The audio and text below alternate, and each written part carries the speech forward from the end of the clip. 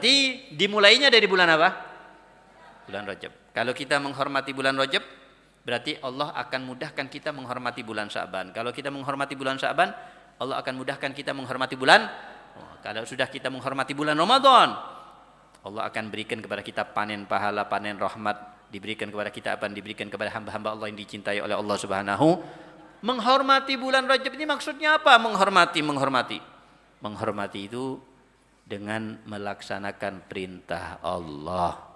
Dilaksanakan sholat lima waktunya, sekaligus melaksanakan sunnah-sunnahnya Rasul Rasulullah SAW jadi sunnah-sunnahnya dilaksanakan sebisa mungkin. Kita tidak bisa melaksanakan semua sunnah. Bisanya sepersepuluh tok. Ya sudah sepersepuluh kita lakukan. Kita usahakan untuk mengamalkan sunnah. Jangan males-malesan. Mau masuk masjid perhatikan kaki kanan dulu apa kaki kiri masuk masjid kaki kanan diperhatikan keluar dari masjid diperhatikan kaki kanan apa kaki kiri kaki kiri masuk masjid kita lupa, jangan lupa untuk berdoa doanya apa Allah maghfirli, Allah maftahli abu abah. Keluar dari masjid baca doa, doanya apa? Allah maghfirli, Allah maftahli abu abah.